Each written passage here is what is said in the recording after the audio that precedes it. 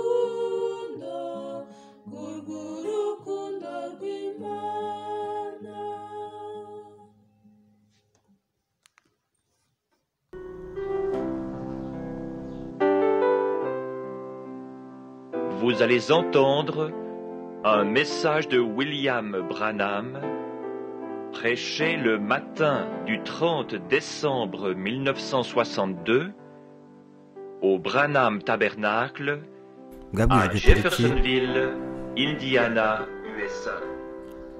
bwabwirijwe tariki mirongo itatu z'ukwezi kwa cumi na kabiri bwabwirijwe muri Branham Tabernacle Jeffersonville muri Indiana muri leta zunze ubumwe za amerika.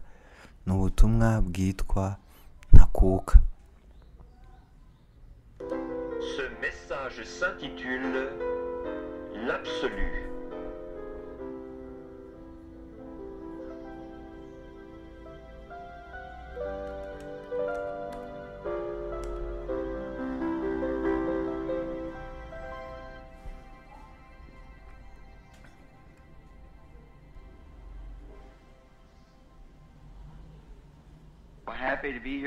Morning and to hear this exhortation just as coming to the uh, platform. Je suis tellement heureux d'être ici ce matin ndanezerewe cyane kuba ndi hano muri iki gitondo exhortation comme je nkumva venais iyi mpuguro ubwo nazaga ku gicaniro hano ku uh, ruhimbi and, uh, I had to catch those that couldn't get in, you see, before I could get in. Je regrette d'être en retard. rwose Mais il y avait des malades à l'arrière. ko et des nakerewe voitures, une ariko sorte inyuma hari abarwayi voyez, avant nuko nagombye kubanza kwita the kuri bo ko batabasha kwinjira mbere y'uko ubwanjye ninjira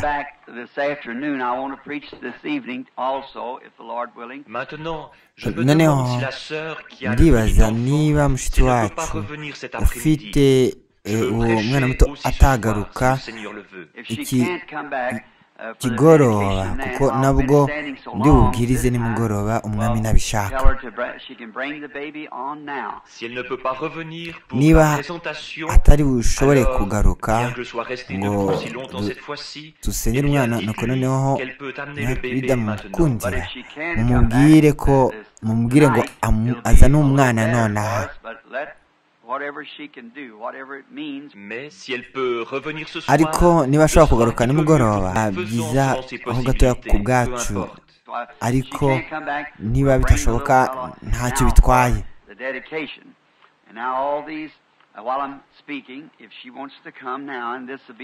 Eh bien, si elle ne peut pas revenir, nous amènerons ce petit enfant maintenant pour la présentation. Et maintenant, pendant oh, que je suis en train de parler, si elle veut s'avancer maintenant, ce serait le bon moment. yaba ari cyo gihe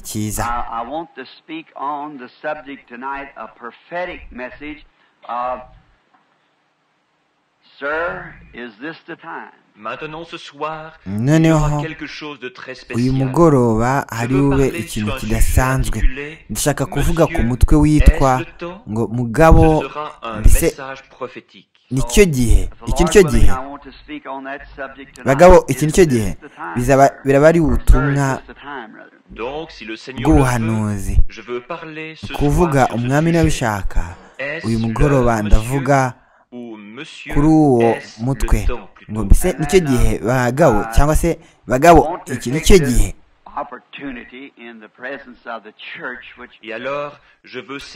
Noneho ako kanya ndagafata imbere y'itorero.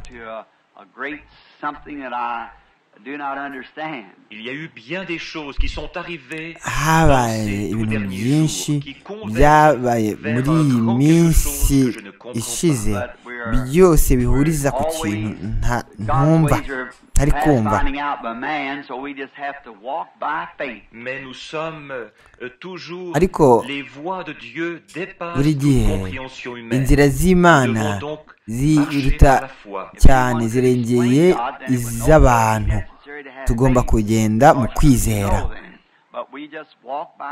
Si quelqu'un pouvait expliquer Dieu, iyaba alors ce ne umuntu- serait plus hari umuntu ushobora nécessaire gusobanura d'avoir la foi, imana. Parce que vous sauriez ntabwo alors. byaba Mais nous ari marchons ngombwa kugira simplement kwizera par la kuko foi.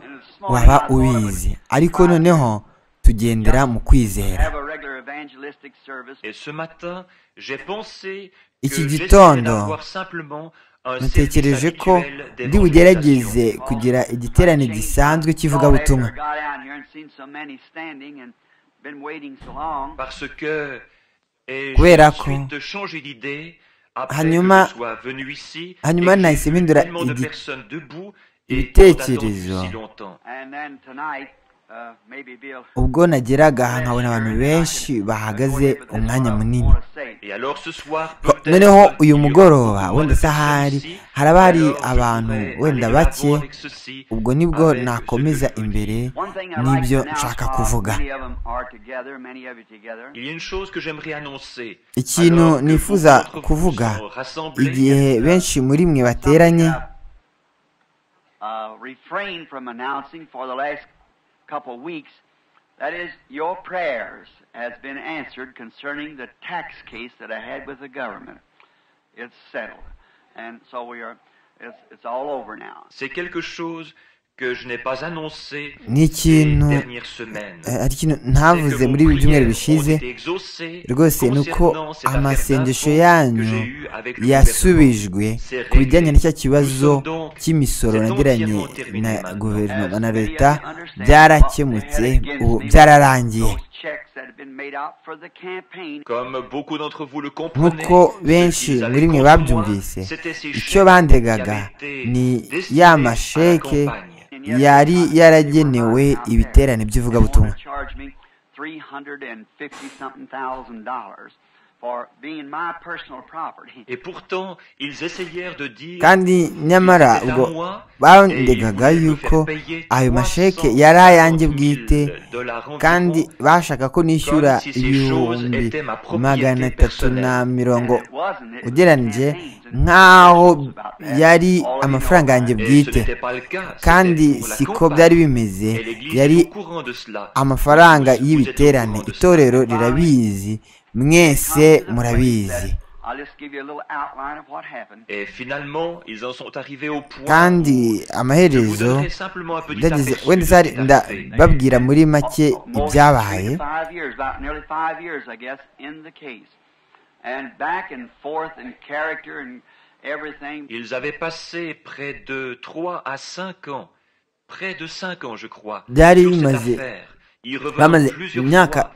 nk'itatu cyangwa itanu neza ko ari itanu. babigarukaho bareba ibyabaye byose n'ibindi. Ndashimira imana ko nta kintu na kimwe babonye. Kindega kingaya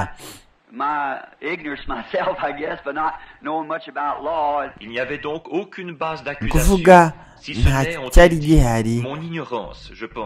bashingiraho banshinja uretse kutamenya kwanjye ko bavuze ko j'y tegeko. bazanaga sheke izo sheke bakazinyandikaho hanyuma nkazishyira mu biterane akaba ayo gushyigikira ibiterane. ariko aravuga ngo buri uko Euh, sheke yanditse izina ryawe yabaga ari iyawe aravuga ati ni byiza ku bwawe ibyabaye. ariko mu gihe ucya- gishyira izina ryawe kuri sheke iba iba iyawe. hanyuma ukabona ukayitanga. igihe washyiragaho izina yabaga ari iyawe rwose utitaye ku cyo izo sheke zari zigenewe rwose ya- yabaga yanditseho izina ryawe Nuko rero cela aurait été en règle. But they just iyo bandikaho ngo rwose ngo ni ni- umusanzu bwite umuntu atanze byari ko ari byiza ariko bandikagaho ngo william branham nuko rero murabona igihe nashyiraga izina ryanjye byabaga ari ibyo rwose byabaga bisobanuye ko ari yanjye ni ukuvuga Amagisho. Smoky, sooty, scaly, like an alligator man come moving towards me with iron fingers. et alors il n'y a pas longtemps, vous ntabwo hashize igihe murabizi nagize iyerekwa iko umugabo munini cyane. wijimye cyane n'umwijima. atwikiriwe n'amagaragamba afite intoki zimeze nk'iz'ibyuma aza ansanga nari mfite icyuma gito nka gutya. Kuri we kuri uwo mugabo handitseho ngo guverinoma ya leta zunze ubumwe za amerika. Et je ne pouvais rien faire. nta kintu nashobora gukora nta mm, mm, mbaraga nari mfite. ubwo ni bwo umwami yaje. Iki kigo kiraneshwa murabyibuka igihe nabibabwiraga ashize igihe. nuko ubushize rero bemeye ubwumvikane.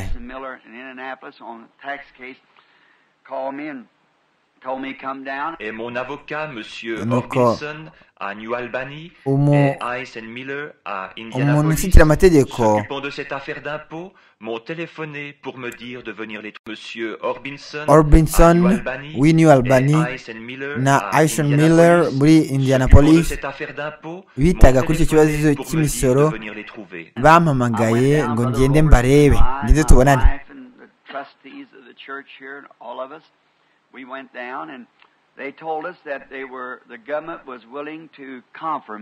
J'y suis donc allé.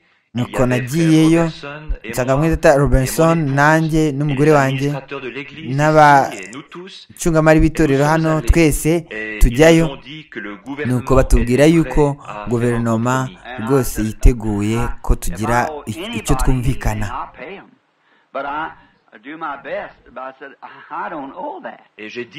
nuko ndavuga nti niba hari icyo ngomba umuntu. Nacyishyura nakora icyo nshoboye cyose. ariko ibyo byo ntacyo mbagomba. Ndavuga nti mu by'ukuri imana irabizi. Et alors, pourquoi ne présente-t-il pas d'accusation contre moi s'il est coupable?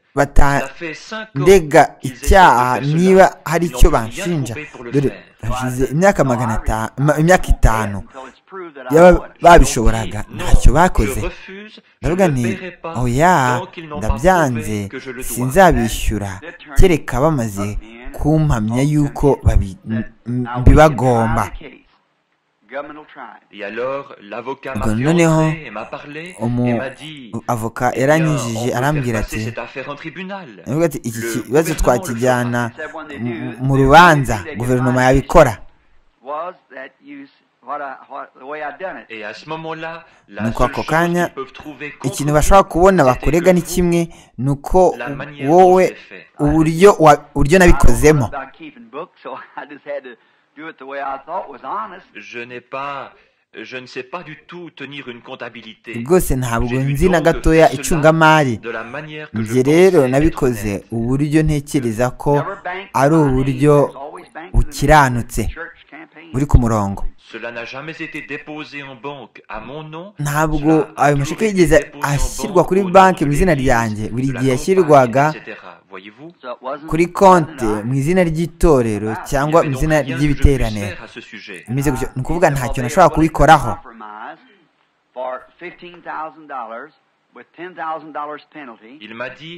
niko barambwira bati. biteguye ko rwose barangiza ikibazo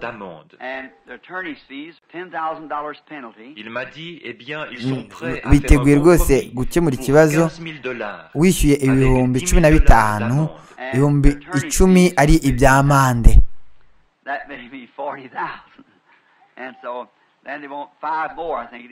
Et les frais d'avocat s'élevaient à 15 000 dollars. Ce qui fait 40 000. nayo kwishyura abavoka byari byageraga byageraga ku bihumbi cumi na bitanu by'idolari byose hamwe bikaba ibihumbi mirongo ine noneho ubu ntibaza ko bashaka n'andi. Bitanu by'idolari je suis donc allé, j'ai dit, mais où au monde pourrais-je trouver 40 dollars? None se hano ku isi nakura he ibihumbi mirongo ine na bitanu by'idolari nuvuga nti muzi konti yanjye kuri banki hano havuga ko mfiteho amadolari ijana cyangwa se munsi. ndavuga nti none se ibihumbi mirongo ine birenga by'idolari nabikura he nanjye ndavuga nti ndavuga nti nta kintu mfite cyabyishyura ntacyo mfite nta kindi.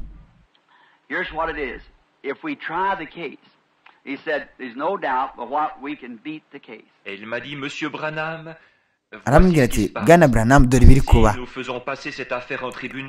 ikibazo nitukijyana nitukijyana mu rubanza iki kibazo nta kabuza rwose tuzatsinda ariko aravuga ati dore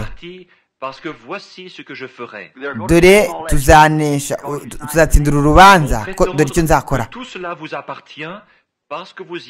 bazavuga ngo ayo mafaranga yose yari ayawe kuko washyizeho izina ryawe. Kandi bazavuga yuko yari amafaranga yawe. nubwo byashyizwe mu izina rya kampani cyangwa mu izina ry'itorero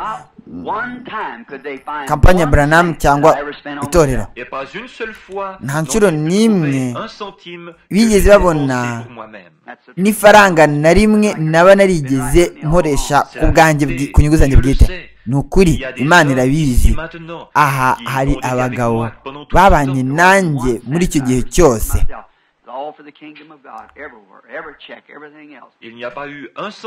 ntigeze abaho n'ifaranga na rimwe none nigeze nkoresha ku bwanjye. byose byari ku bw'ubwami bw'imana. hose buri sheke na buri faranga ryose.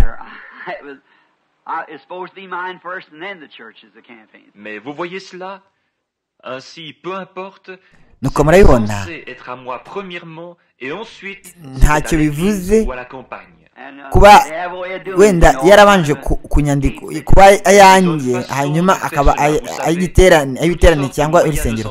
bafite uburyo bwose babikoramo kugira ngo tuve icyo kibazo kituveho. eh bien, nuko naje je ndababwira nti ntabwo ibyo nabikora.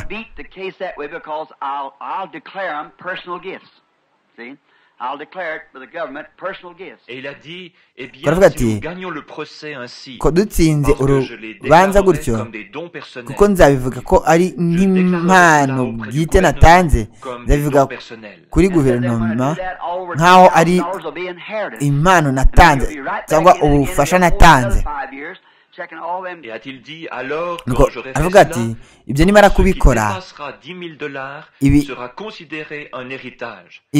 Alors vous retrouverez là-dedans et ils vont vous retenir encore 5 ans pour... là-dedans, et ils vont vous retenir encore 5 ans pour vérifier tout cela. See, when you write a check and i- go i- through the i- i- clearinghouse, ibirenga ibihumbi icumi byose. Un bibe nk'umutungo wawe. Maze noneho bazongera bafate imyaka itanu yo kubigenzura. Par la urabona chambre de compensation. igihe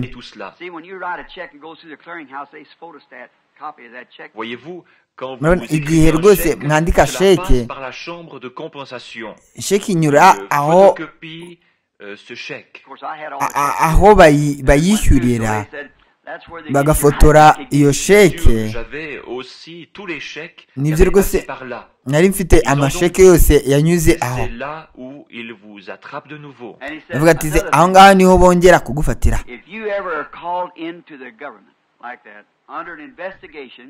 No matter what you ever do, in the eyes of the public, you're a crook. Arambwira ati ikindi kintu bwana buranamu nibigera yuko rwose guverinoma itangiye gukeka bakurega mu maso ya rubanda ugaragara ko uri umujura nta kindi. Nimurebe uriya muvuga butumwa muto w'umubatisite wo muri uwo mugabo umugore umwe yaravuze ngo yaraje uwo muvuga butumwa yaramututse. Venant de partout dans le pays. Ils n'étaient même pas en ville, plusieurs jours avant Mu mudugudu voire le wose, jour en question. Insomuch that the judge wanted to turn uwo mugabo yari afite bihamya yuko atari atari uwo munsi avuga ko yamututseho atari mu- mu- muri uwo mujyi atari na hafi aho retourne contre cette femme, elle a ku poursuivi buryo pour n'umucamanza yashakaga ko ahindukira akarega uwo mugore monitor test across the country. kuko yamubeshyeye 75% ariko of American people uwo said, muvugabutumwa aravuga ati mumureke agende Nuko mu gihugu 75% babigenzura mirongo irindwi mirongo irindwi na batanu ku ijana. Mu gihugu hose bavuze yuko ngo nta mwotsi ucumba nta muriro. nuko rero umuntu wese faire urengana. rwose ubuzima bwe bwose asigara yikoreye icyo cyasha kandi ntaho ahuriye na byo.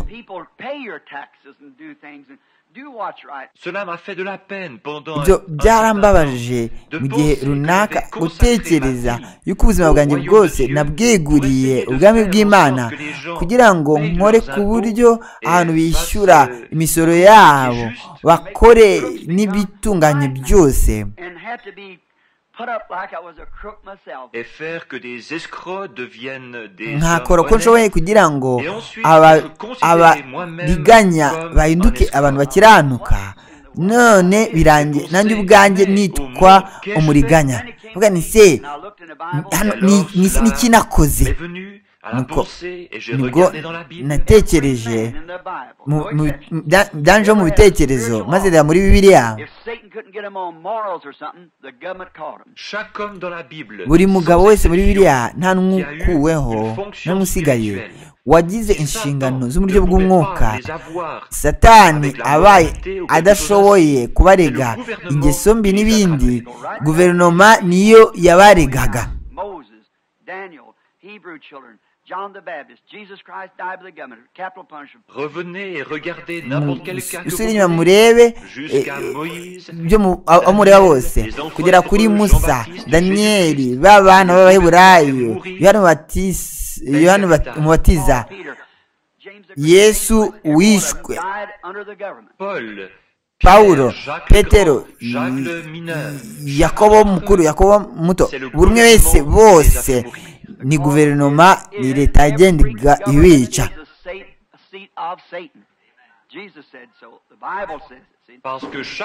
kubera ko buri guverinoma yose ni icyicaro cya satani. Yesu yarabivuze bibiri irabivuga. Murabona? Buri guverinoma yose ni umurimo wa satani. Hariho ubutware buzayoborwa na kirisito ariko ibyo bizaba mu myaka igihumbi mu ngoma y'imyaka igihumbi.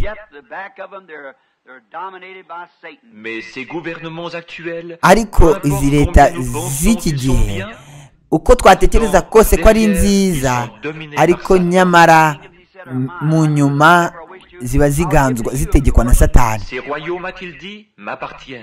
Satani yaravuze ati ubu bwami ni ubwanjye.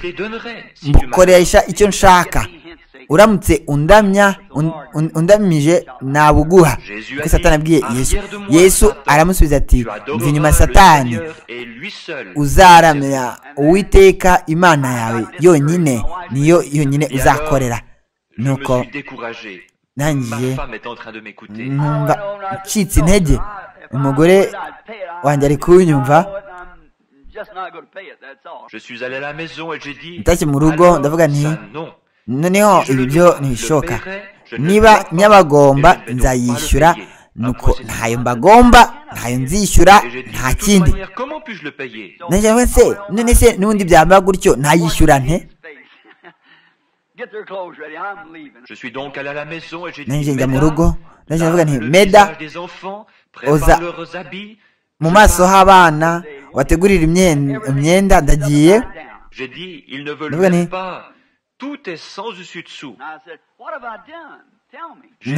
nta kintu na kimwe nakoze iki nakoze iki mumbwire. Ndavuga nti ngiye kuba ngomba abantu. Mfite umwenda ibihumbi mirongo ine. ntabwo mwumva icyo bisobanuye kuri ibyo. Nuko araza. rwose nk'umugore mwiza ugwa neza. Nanjye ndavuga nti ndagiye.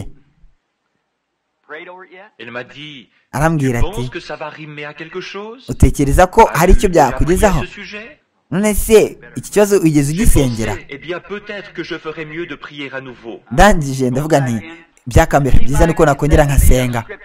Scripture. Always we want to watch the scripture, what God did about it, you see. Je suis donc retourné dans mon bureau. nasubiye mu biro et byanjye il me semblait comme asa S'il nkaho me citait un passage de l'écriture, byabaye nkaho asa nkaho ari kumbwira umurongo wa bibiliya rwose buri gihe uba ugomba kureba bibiliya muri bibiliya icyo imana ivuga kuri icyo kibazo. Nuko umunsi umwe savez, alors qu'on essayait baramubajije ubwo bageragezaga kumurega ku bijyanye na guverinoma. On lui a dit, est-ce bien juste baramubajije pour nous, bati mbese nous sommes libres ni- byiza koko? birakwiriye ko twishyura amahoro cyangwa imisoro twebwe abayahudi b'umudendezo. tukayishyura sezari De qui est-ce l'inscription kayizari On lui a aje répondu. babaza ati se mufite nge- abaza se hariho ishusho yandi arambwira hariho ya kayizari Il a dit, Ubwo rendez arab- donc arababwira à ati nuko rero kayizari à ibye n'imana muyihe ibyayo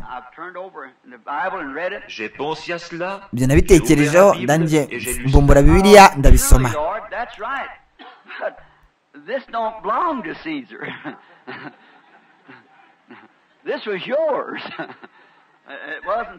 J'ai pensé. nuko c'est naje vrai, ndatekereza Seigneur, c'est juste. mwami ni byo ni ukuri ni ukuri ariko ibi ntabwo byari ibya kayizari byari ibyawe ntabwo byari ibya kayizari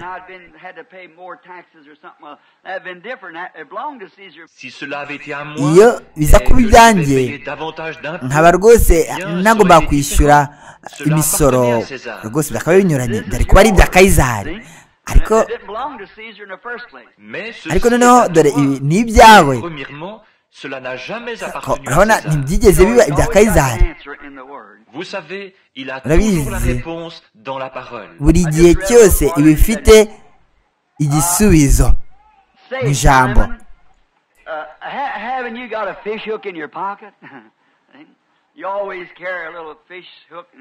J'ai lu un petit peu plus loin. nasomye Il a dit, munsi gato Dis donc, Simon, Hanyuma avuga ati ta ntabwo ufite indobani mu mufuka wawe buri gihe rwose ugendana akantu kagufasha kuroba mu mufuka buri gihe uragahorana muri iki gitondo nabitse amafaranga muri banki iyoborwa n- I made a n'ifi deposit in the hariya mu mugezi certainly give up what he's got. Il a dit, j'ai fait un dépôt et le Aravuga ati, banquier va certainement redonner ce qu'il a. Just go to nabitse amafaranga kuri banki kandi uwo mukozi wa banki agomba kuguha icyo afite. Manukaho uteremo indobani mu mugezi. nugera kuri banki. Ufungure ubumbure umunwa we wayo iri buguhe igiceri. Ifaranga ntitubasitaze ntitubacumureho urabona? nuko simoni ugenda uyishyure. araba ari umusoro wanjye n'uwawe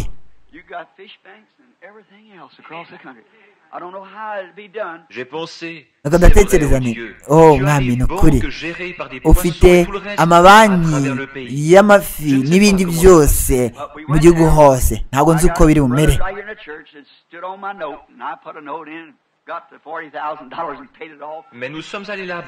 pris twagiye aho. mfata bene data hano bo mu rusengero. bari banshyigikiye. nuko J'ai donc reçu 40 000 dollars et j'ai pu nu- régler cela. nuzuza urupapuro rwo kubikuza kuri Come back on me again. I said, uru this- rusengero this hanyuma is free nishyura talk. mbikuza mirongo ine ndishyura Et hanyuma je voulais ndataha mu savoir, rugo euh, comment j'avais écrit ce chèque, s'ils allaient me faire des histoires à ce sujet. N- n- Et noneho j'ai dit, ntangira c'est kwibaza pour dire que je suis libéré de tout impôt.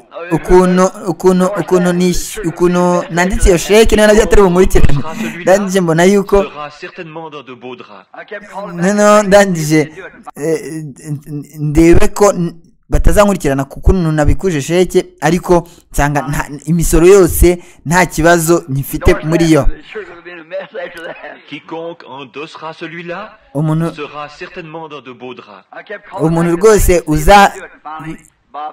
uzabikuza iyo sheke azaba rwose ameze neza ntahamagaye amabanki anyuranye kugira numve niba bari bubikore niba ari buyemere. Ndangije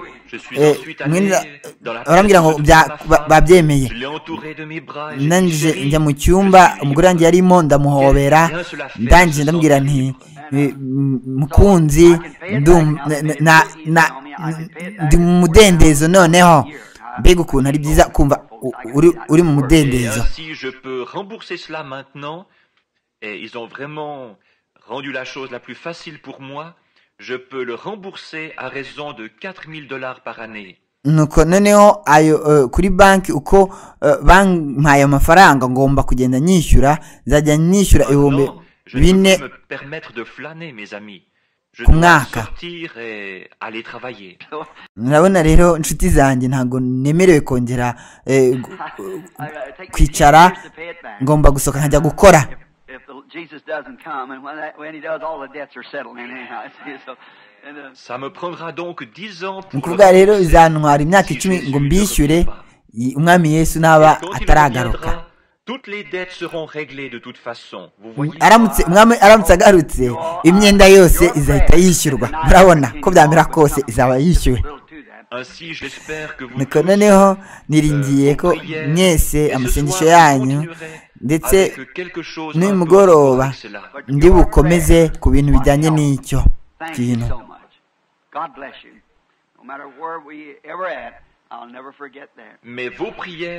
ariko amasengesho yanyu niyo yamfashije. Mwarakoze cyane. pouvons umugisha. aho twaba turi hose sinshobora kubyibagirwa.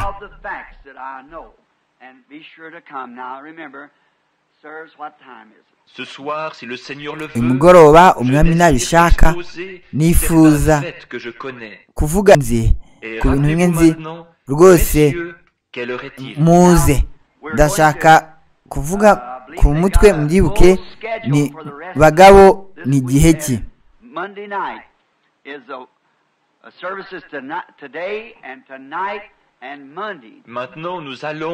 je ngo noneho muri cyumweru nibaza ko iminsi yose ifashwe kwa mbere nimugoroba hari ibiterane uyu munsi. Na nimugoroba no kwa mbere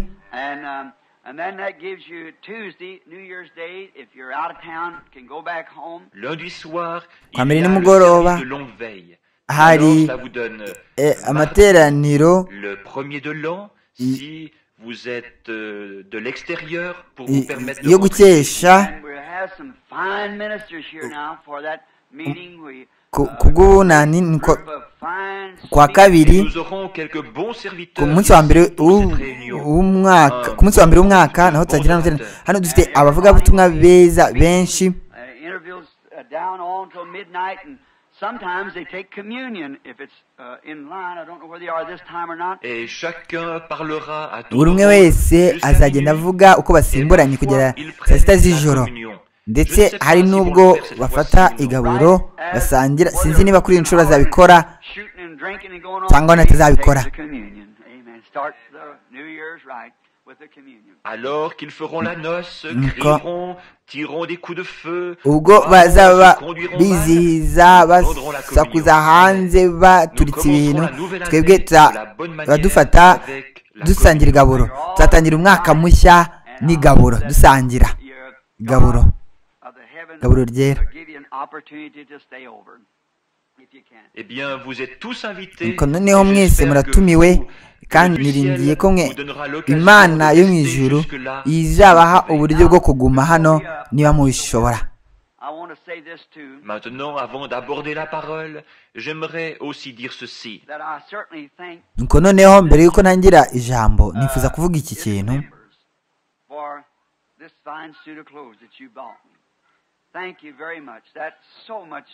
Que je remercie certainement cette église. ndashimira cyane iri torero complet que vous m'avez acheté. Merci beaucoup. aba abo muri iri torero iri koti ryiza mwanguriye ni ryiza cyane mwarakoze iki rwose gifite ikintu gisobanuye cyane kuri njye. toutes vos cartes et autres reçus pendant euh, la kwandiko kose mwanyandikiye n'ibindi byose ni impano mwohereje umuryango.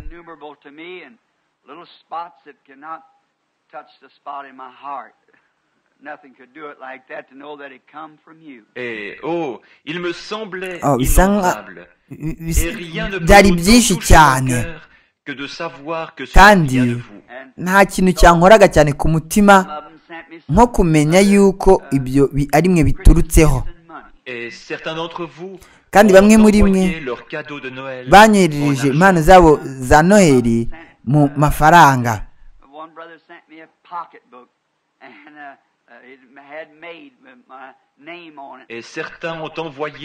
Kandi bamwe bohereje nka mwene data umwe wankoreshereje ikotomoni ikozwe yanditsweho izina ryanjye yayikoresheje ku bwanjye.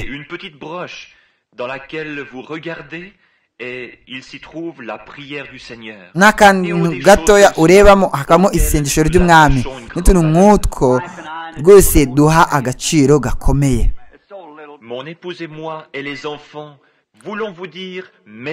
Umugore wanjye n'abana twifuje kubabwira tuti mwarakoze cyane byaratunejeje. Be any greater. Mais je dirais ceci, ariko que ndetse ntekereza ko ari ryo jambo ryiza cyane umuntu yabasha kubwira undi imana ibaha umugisha.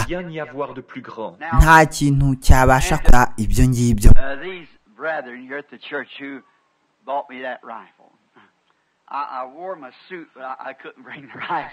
Et maintenant, en ce qui concerne ces frères de l'église bijyanye ici, qui m'ont n'aba acheté bene data fusil, mu rusengero hano bamwe j'ai banguriye porté imbunda. complet, mais je ne pouvais It was I- iri koti nza no ku rusengero ariko ntabwo nashobora kuzana imbunda mu rusengero Ariko- vraiment eu quelque chose contre moi à ce moment-là, n'est-ce pas? iyo bikora hari ikintu rwose bakabonye noneho bandega. Bene data ndabashimira cyane.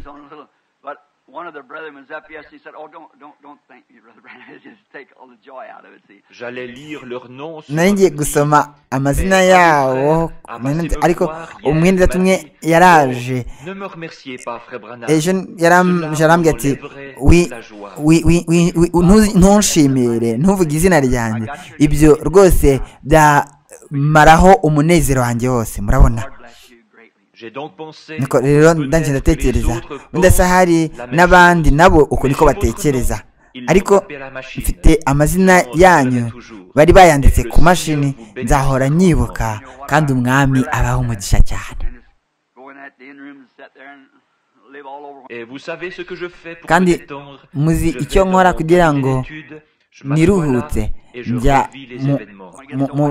mu biro byanjye. Aho nigira hanyuma nkongera nkabyibuka ibyo byose. numva ndushye ntashobora kujya kugera kure. ntangira kwibuka pêche. aho najyaga guhiga aho nagiye J'apprécie kuroba. ibyo rwose ndabibashimira. Imana ibaha umugisha. Noneho kunamishe imitwe yacu akanya gato igihe tujye gutangira ijambo. Je suis certain qu'il y a des requêtes ici ce matin. nzi neza ko muri iki gitondo hari ibyifuzo byinshi cyane ku buryo tutabivuga byose Your special request. If you just keep it on your heart and just raise up your hands and say, God, you know what I'm thinking of now. Je me demande donc nuko alors noneho peut-être ndikwibaza s'incliner mu gihe imitwe yanyu yunamishijwe icyifuzo cyawe kidasanzwe icyo ufite mu mutima uzamure ikiganza uvuga uti oh mana uzi icyo ndi gutekereza ubu nonaha.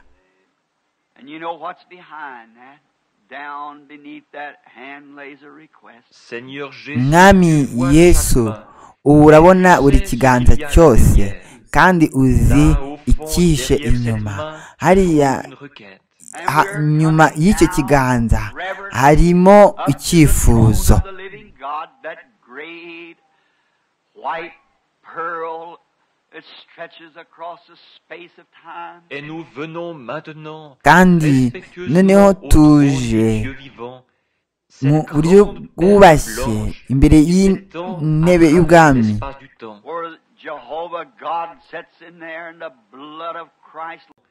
cette grande perle blanche qui s'étend à travers l'espace du temps.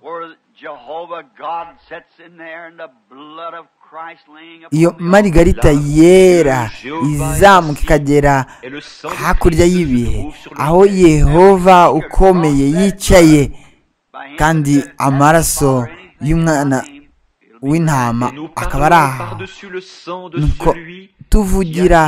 ku maraso y'uwavuze ati icyo muzasaba cyose data mu izina ryanjye muzagihabwa. Muri iki gitondo o mana mbese ntiwumva ntusubiza ibyifuzo byacu? Mfatanyije isengesho ryanjye n'iryawe uyu munsi kugira ngo umwami ubikore. Dore hano imbere yanjye hari ibitambaro umwami by'abarwayi n'abababaye. Et on nous enseigne dans cette kandi muri bibiliya twigishwa yuko bafataga ibitambaro byakoze. Intumwa pawulo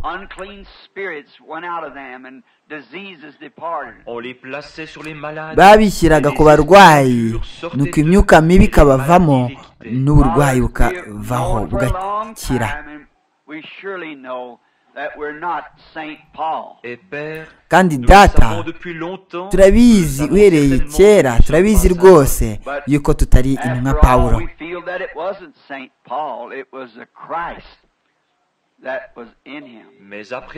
Ariko, nous sentons ko biri que kose, ce n'était pas Saint Paul. Ku- tuzi yuko bitari pawulo And you are ahubwo the ni same kristo wari yesterday, muri we today, forever, according to the scripture. Et tu es le même kandi hier, nk'uko ibyanditswe bivuga aujourd'hui et pour uko toujours. wahoze ejo ni kuri none n'iteka ryose These people, Lord, believe that if we ask God and take these handkerchiefs and lay them upon their sick, that they shall recover. Maintenant, nuko noneho aba bantu mwami barizeye yuko nitubisaba imana. ces nuko tugafata ibi bitambaro tukabishyira ku barwayi bakira. Ndagusaba mwami bimere bityo. ibi bitambaro nibishyirwa ku barwayi. Bakire.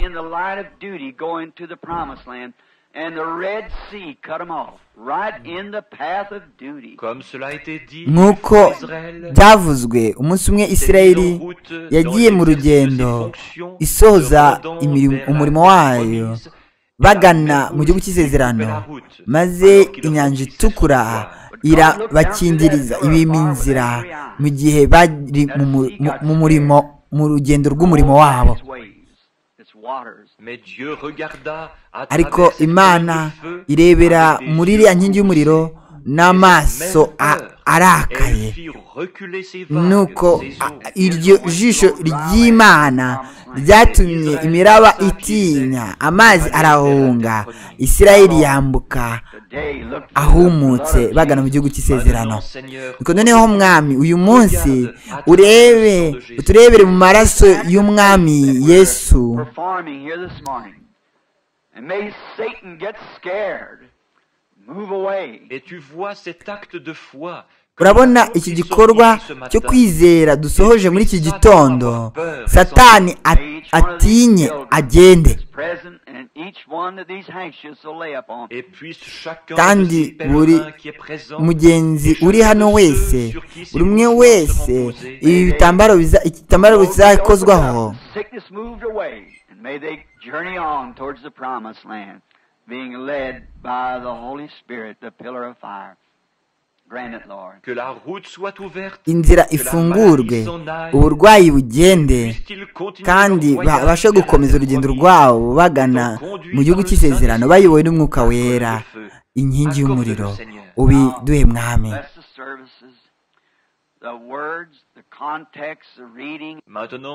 noneho umugisha amateraniro amagambo. umutwe gusoma. To each one of us, Lord, as we're growing close to some great, tremendous something Et puisse le Saint-Esprit umwuka wera parole ce matin ufate ijambo et muri iki gitondo. à chacun uri avec douceur, Seigneur. tugaburire Alors que nous ibitugabanirize approchons de quelque twese ubwo turi kwegera ikintu gikomeye ibintu bikomeye ibintu bihebuje cyane tutaramenya. imitima yacu rwose i- iranyeganyega bidasanzwe. Mwami. The meaning thereof, for we asked it in Jesus' name. Kandi turagusaba noneho mwami ubwo tukwegera tukubashye n'ijambo ryawe. d'interpréter cela u- et de bisobanure donner la signification. uduhereze ubusobanuro bwabyo kuko tubigusabye mu izina rya yesu. Amen.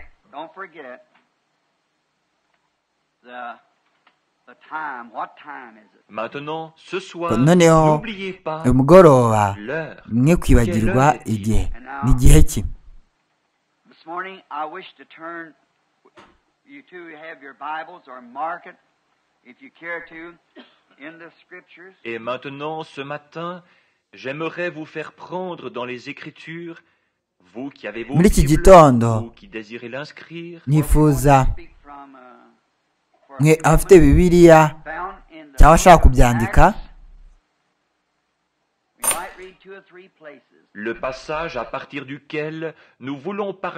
umurongo dushaka kuvugaho mu kanya gatoya.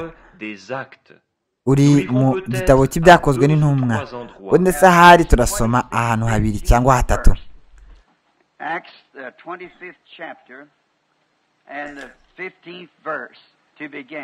Acts, the 25th chapter, and the 15th verse to begin. Acte 26, 15, première ibyakozwe n'intumwa igice cya makumyabiri na gatandatu mirongo cumi na gatanu ni ho duhera 15 pour commencer. ibyakozwe n'intumwa makumyabiri 23:11. Puis, na gatandatu mirongo cumi na gatanu nuko noneho 23, turashaka no gusoma ibyakozwe n'intumwa makumyabiri na gatatu cumi na rimwe of Philippians 1:20. Et vous pouvez ajouter à mushobora ceci, si vous le kongera kuri ibyo niba probablement mushaka pas le temps de le lire. ubundi se ahari nshobora kutabona umwanya wo kubisoma. Abafilipi rimwe makumyabiri.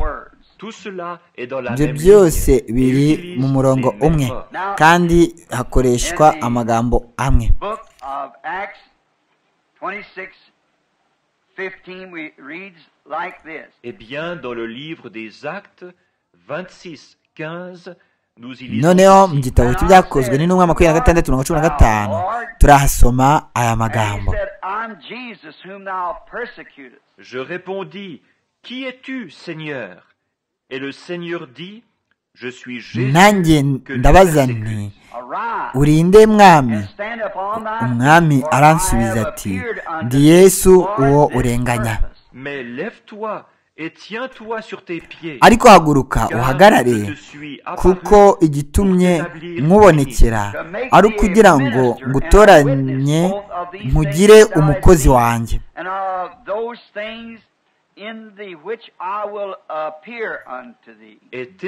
N'umugabo wo guhamya ibyo ubonye n'ibyo nzakubonekera.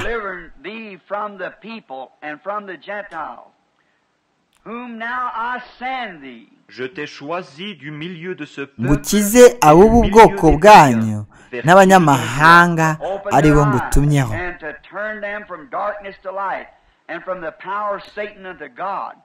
ngo ukize ouvres les yeux ab'ubu bwoko pour qu'ils n'abanyamahanga ari bo ngutumyeho kugira ngo ubahumure amaso nabo bahinduke bahindukire bave mu mwijima bajye mu mucyo bave no mu butware bwa satani bajye ku mana thee. pour qu'ils reçoivent par la foi en moi le pardon bahere des ko péchés bababarirwa ibyaha byabo baraganwe n'abejejwe no kunyizera Mwami agripa mpera ko sinanga kumvira ibyo neretswe byavuye mu Damas, ahubwo mbanza ab'i damasiko maze mbwira ab'i yerusalemu n'abo mu gihugu cyose cy'iyudaya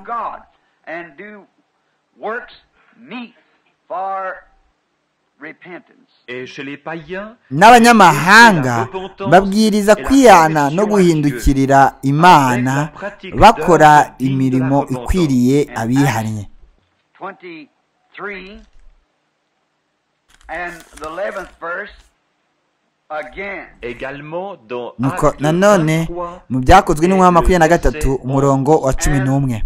The night following, the Lord stood by him and said, la nuit suivante, le Seigneur mu ijoro ry'uwo à munsi umwami yesu amuhamagara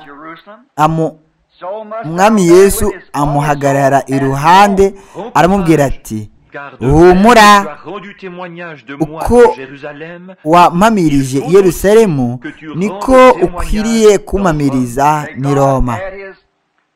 Holy blessings to the reading of this uh, most gracious holy word that we have before us. puisse Dieu ajouter imana yongere imigisha yayo yera.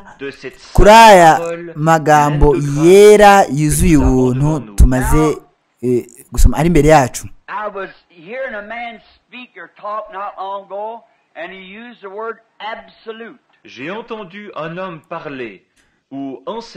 Numvise umuntu avuga cyangwa se yigisha ntabwo utilisé ashize le igihe mot nuko akoresha ijambo ntakuka cyangwa ntahinduka. Absolutely. Et j'ai pensé, c'est un très bon mot. ndangije ndatekereza souvent. iri jambo ni ryiza cyane naryumvise rikoreshwa kenshi nta kabuza Nuko- mfata inkoranyamagambo webster. Perfect in itself, unlimited in its power, primarily an ultimate. D'après Webster, cela webster signifie uko abisobanura parfait en soi, iri jambo risobanura ngo illimité ubwaryo dans sa ritunganye puissance, riri mu mbaraga zaryo. By'umwihariko ni- ingingo yo gushingiraho bwa nyuma. iyo ngingo yo gushingiraho bwa nyuma ni amina. Nta kindi.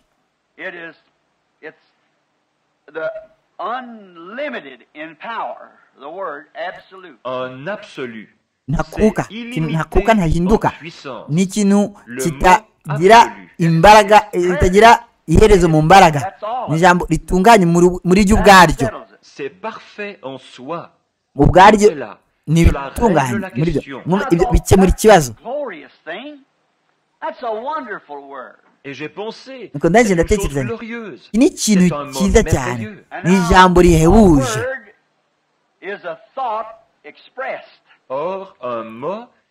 Kandi nyamara ijambo aba ari igitekerezo cyavuzwe cyasohotse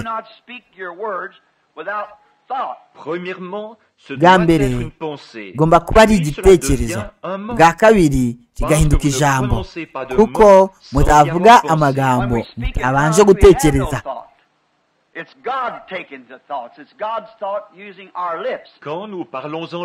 Igihe tuvuga mu ndimi. nta gitekerezo na kimwe tuba dufite. aba ari imana yafashe ibitekerezo. Ni igitekerezo cy'imana gikoresha iminwa yacu. ntabwo dutekereza cyangwa se nta nubwo vous muzi ibyo muvuga igihe muvuga mu ndimi. Iyo ari ukuvuga kwahumekewe.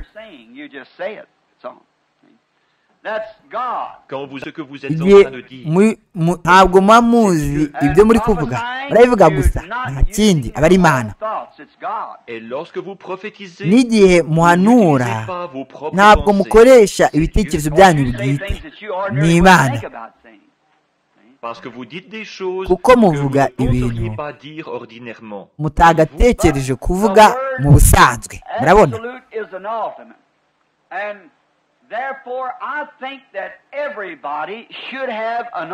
Mais le mot absolu I- indique ariko ijambo ntakuka.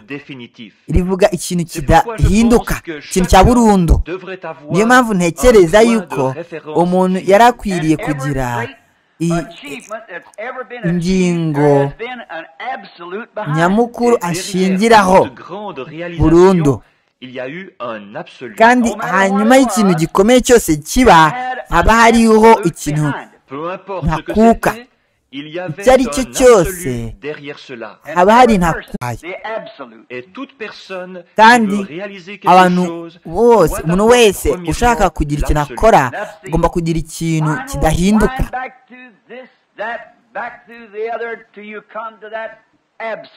Et c'est l'ultime retour au point de départ.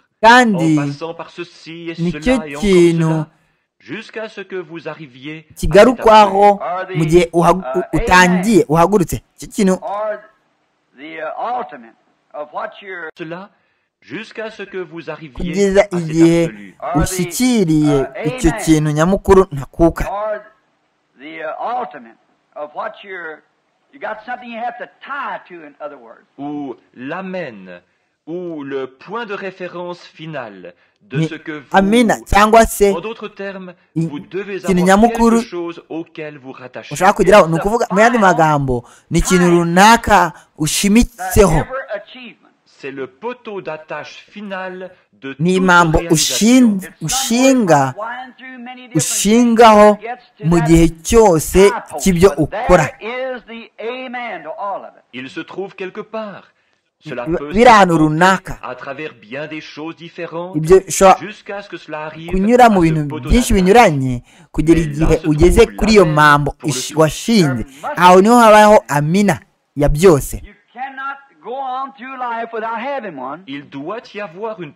Hagomba kubaho ikintu kimeze gityo. ntabwo ushobora gukomeza mu buzima udafite na kimwe. Wind back to your mind something till you hit that tie post. Lorsque vous vous êtes marié, igihe vous avez dû faire un retour en washyingirwaga arrière dans votre pensée jusqu'à ce que vous atteigniez ce poteau d'attache. Usubiza amaso eh, eh, inyuma mu bitekerezo. kugeza igihe ugera kuri icyo kintu nyamukuru ikintu kigomba kuba ari urukundo ukunda Bien, umugabo wawe cyangwa umugore wawe. wenda femme se de Dieu. ahari Or she- ashobora or kuba adafite uburanga uh, nka muka naka mugabo runaka yohana wenda. Eh cyangwa se euh, we ceci akaba wenda iki kiriya ariko muri we haba harimo ikintu kigukoraho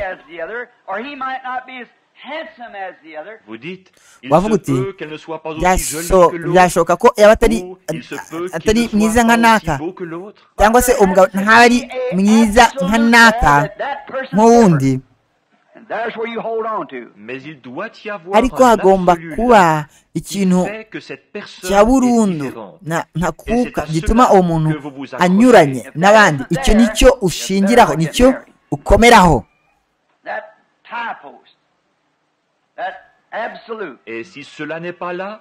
Kandi icyo kibaye kidahari icyakubera cyiza ni uko mutarongorana. iki kintu nyamukuru gishingirwaho twatekereza kuri benshi birafite ntakuka muri bibiliya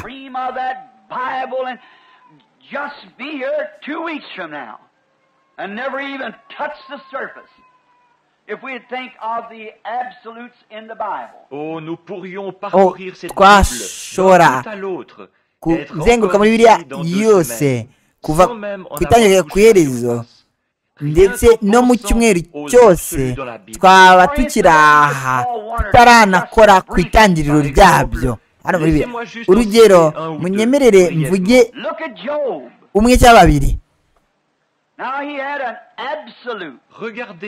Nimurebe yobu. Yari afite ntakuka ibintu byose byabereye bibi uriya mugabo wari umugabo ukiranuka. Nous n'oserions pas dire ntabwo twagatinyutse Parce que ntabwo twatinyuka kuvuga ko atakiranukaga kuko imana yavuze ko atunganye. ku isi wari umeze nka yobu. yari atunganye mu maso y'imana. kandi Parce yari abizi. kubera ko yari afite ikintu cya burundu un-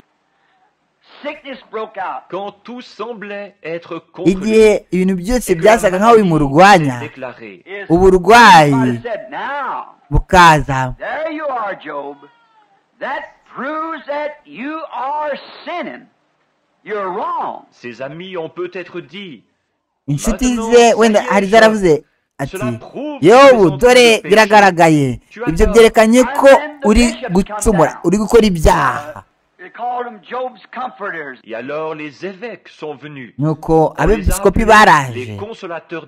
Biswe abahumuriza ba Yobu.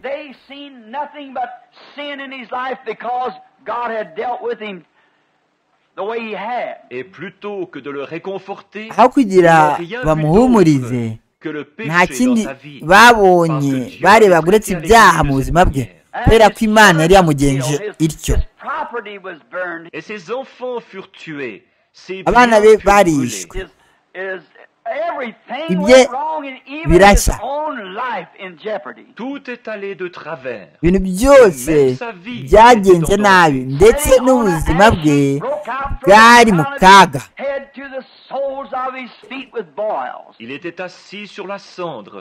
yicaraga mu ivu yuzuye ibibyimba ibisebe kuva ku mutwe ukagera ku birenge bye.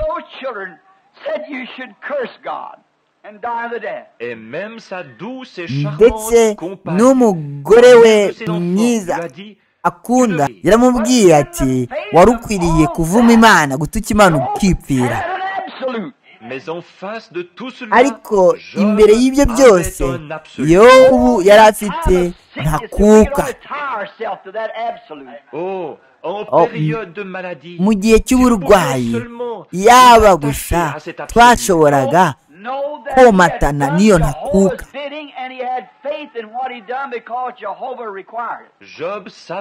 Yobu yari azi ko yasohoje ibyo ibyo yakoze kuko yehova yari yabimusabye ça, gusa twashobora gukora ibyo.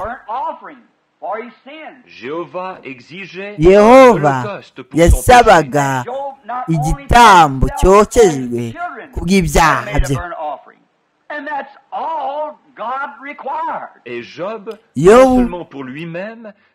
ntiyabikoraga ku bwe gusa.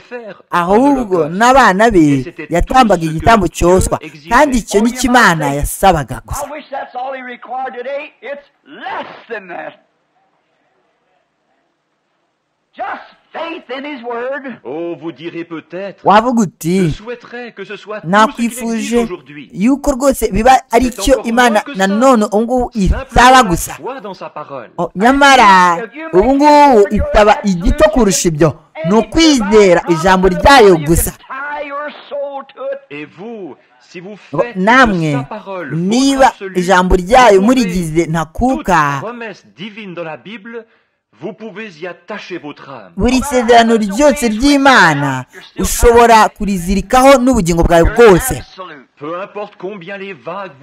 Uko umuraba wabamerera kose ukaguma uhambiranye na prophet yawe.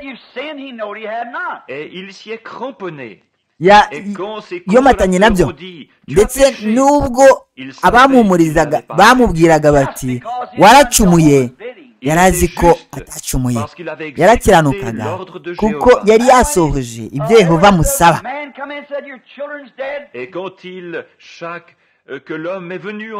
n'igihe umuntu yaje avuga ati ngo abana bawe bapfuye undi azavuga ati ingamiya zawe zahiye zose zatwitwa umuriro waturutse mu ijoro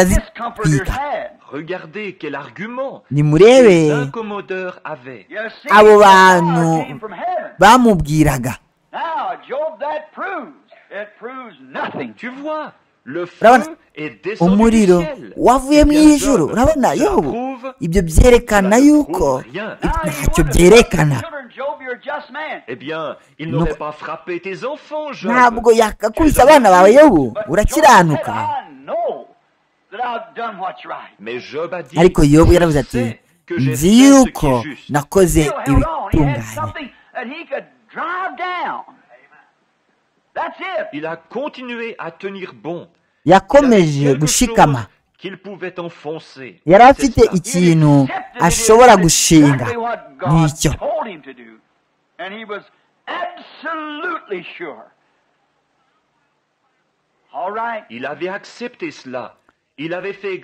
yari yabyemeye yari yakoze neza neza ibyo imana amubwiye gukora. kandi rwose yari abizi neza neza. Et alors, quand on est arrivé au point, on voit que cet absolu a tenu, hatuona iyo na kuka ishinze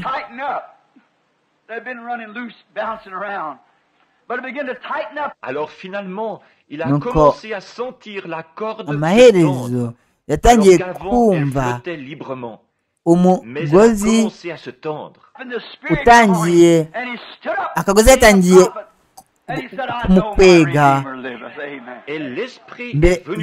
byoroshye Il nuko umwuka umuzaho nuko arahaguruka nk'umuhanuzi aravuga ati nzi ko umucunguzi wanjye ariho ari muzima. Amen. Murabona? yari amaze kwega imigozi ye na ntakuka yari amaze kugira icyo akoraho Yari azi ko yakoze ibitunganye. nuko umunsi umwe arabikurura And at the bimugeraho nzi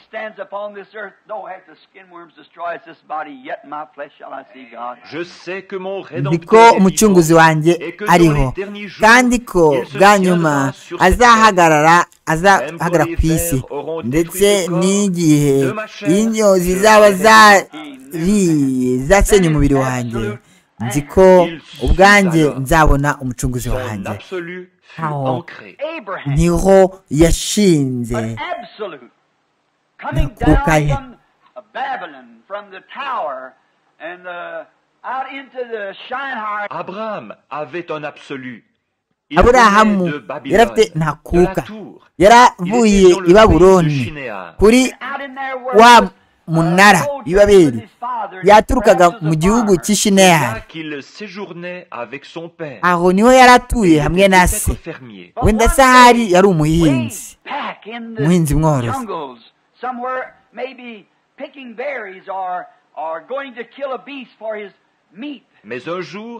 Ku part munsi umwe, tout au fond de la jungle, alors que peut-être ahantu yari ari mu ou qu'il s'apprêtait à tuer un animal pour avoir mu de la viande à manger, ishyamba wenda hari igihe yari arimo aragira yari yari 75 gusingira ashaka gufata ikimasa kugira ngo abajye abone icyo arya ahantu runaka 75 ans. aho yari ari imana iramuvugisha ubwo yari afite imyaka mirongo irindwi n'itanu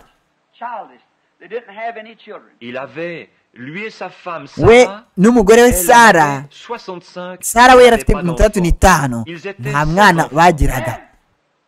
God told him, You're going to have a child by Sarah.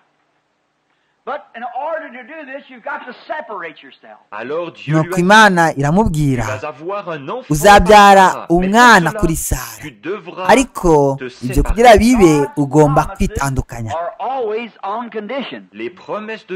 amasezerano y'imana buri gihe aba afite ibyitonderwa.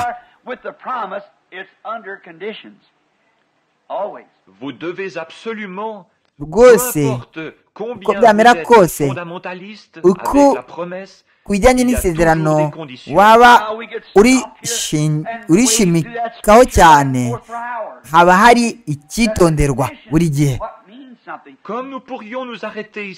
Mbega uko twashoboraga à hano gato tukajya mu byanditswe tukava ku itangira kugera ku iherezo tukabona ko ibyo byitonderwa ari byo by'ingenzi Predestination and so forth.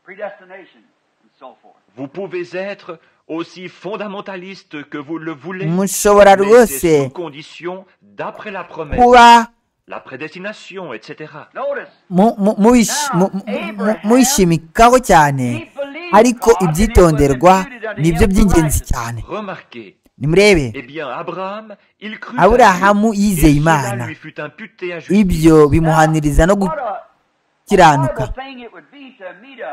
horrible thing it would be to meet a, a civilized world, a man 75 years old with a woman 65. Or, quelle chose Nyamara, horrible ce serait mbega d'affronter iki- un monde civilisé giteye et un homme ubwoba de 75 ans avec une femme de Umu- 65. Um- kuba mu isi y'abantu basobanutse maze umugabo w'imyaka mirongo irindwi n'itanu umugore w'imyaka mirongo itandatu n'itanu babanye kuva bakiri bato kubera ko yari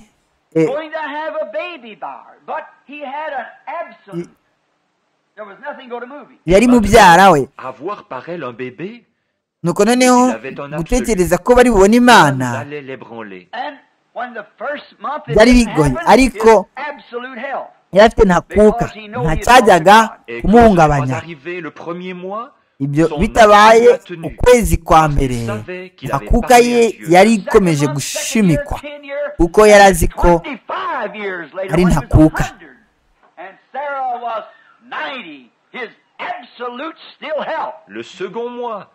ukwezi kwa kabiri umwaka wakurikiyeho imyaka icumi imyaka makumyabiri n'itanu ishize igihe yari afite imyaka ijana yari afite mirongo icyenda. nta kuka ye yari yishimitse. kandi ibiri iravuga ngo igihe bandikaga ubuzima bwe amaze gu Abraham ne incrédulité au ntiyashidikanya ku bwo kutizera ku bijyanye n'isezerano ry'imana ahubwo akomezwa mu mutima aha imana icyubahiro. Kubera iki déjà pensé pourquoi mwamwe rigeze mwi- Il mubi- était mwibaza impamvu rwose had to do was yara separate himself from his people. i- yarahamirijwe yarabizi neza neza nta bihindura peuple. gukora cyari kimwe gusa. ko ari kwitandukanya n'ubwoko bwe. kandi imana ntiyigeze imuha umugisha mbere y'uko abikora. Yafashe se itarapfa and when after Lot separated from Abraham, then God come to him. So now walk through the land. Il a pris Lot. yatwaye loti Quand, après que Lot se soit Kandi séparé d'Abraham, loti amaze alors gutandukana na Dieu est burahamu venu vers lui. ubwo ni bwo imana yamusanze iramubwira ngo noneho genda mu gihugu gendera mu gihugu Under conditions. Always goes with God and His Word. L'obéissance, la promesse sous certaines conditions, kumvira va toujours avec Dieu et sa parole. Amasezerano yo mu buryo runaka buri gihe agendana n'ijambo ryayo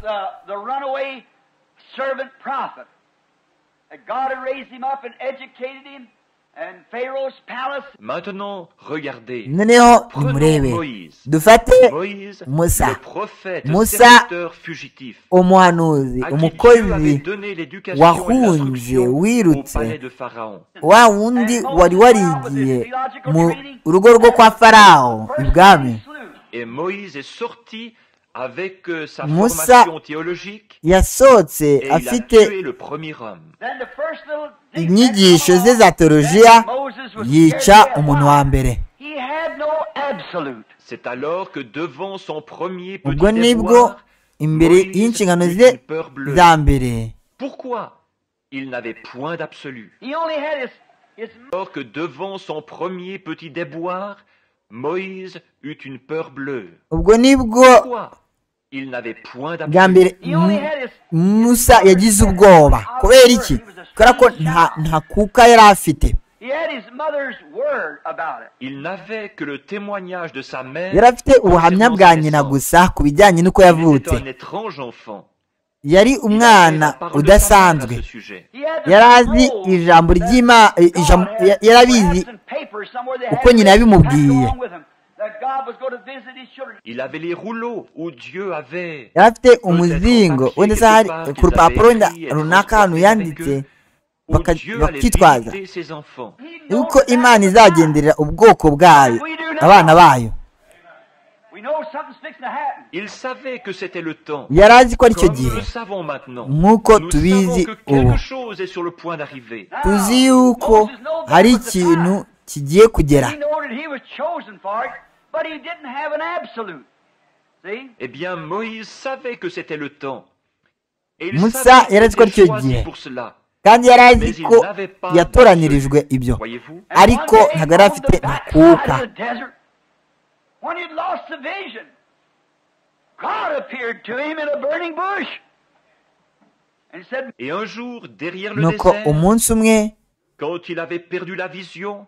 hakurya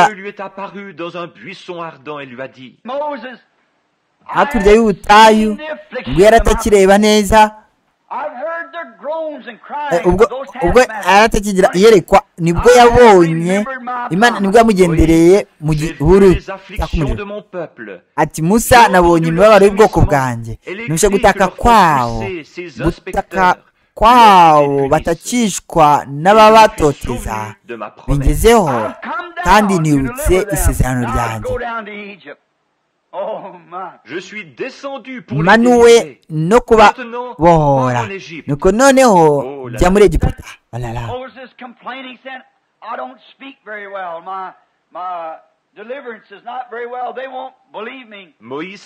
musa atangira kuganya ati ntabwo mvuga neza. kuvuga kwanjye. Ntabwo ari kwiza. Ntabwo bazanyizera. Iramubwira iti se ufite iki? Mu kiganza. ati ufite inkoni.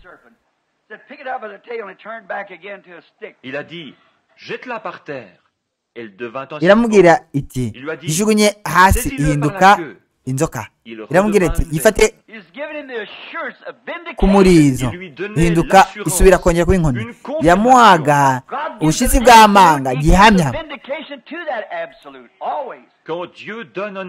igihe imana itanze ntakuka buri gihe itanga gihamya. Cy'iyo ntakuka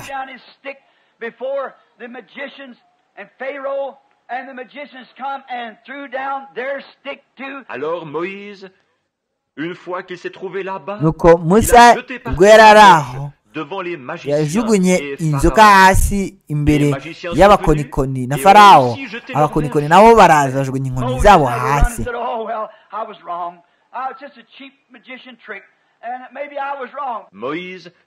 musa ntiyagiye yiruka bavuga ati rwose nibeshye rwose kari agashya k'abakonikoni nakoraga.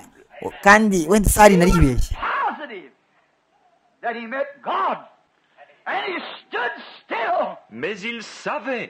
ariko yarafite gihamya yuko yahuye n'imana. nuko ahama hamwe ashikamye. Yemye. tuvuge ko yari yakoze neza neza ibyo imana yamubwiye gukora. na yobu wari wakoze ibyo imana yamugiye gukora.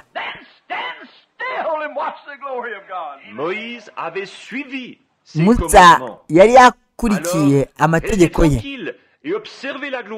nuko rero nimutuze murebe ubwiza bw'imana. Musa yarashikamye kuri ntakuka ye n'ibyitonderwa nuko aguma utuje ako kanya inzoka ye imira izindi nzoka zose. Murabona? yarashinze kuri iyo ntakuka ye. Imana yaravuze ngo numara kubohora buriya bwoko muzongera kunsengera kuri uyu musozi. regardez comme l'ennemi essayera par tous les moyens de vous éloigner